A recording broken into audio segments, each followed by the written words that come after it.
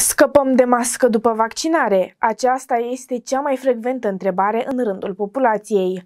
Masca a devenit simbolul pandemiei de COVID-19, iar oamenii își doresc să scape cât mai repede de acest accesoriu.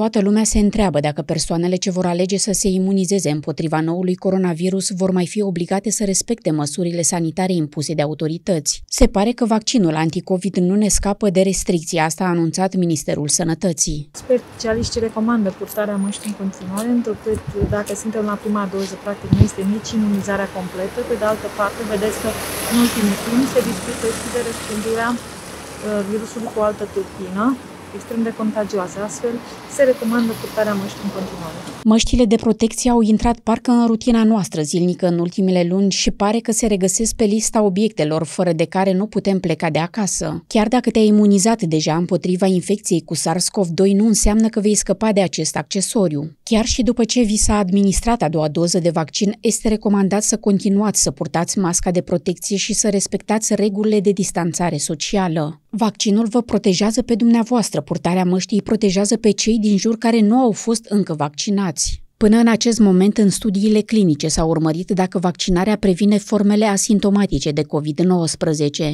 Nu a fost studiat dacă este prevenită și infecția asimptomatică, a mai adăugat Ministrul Sănătății.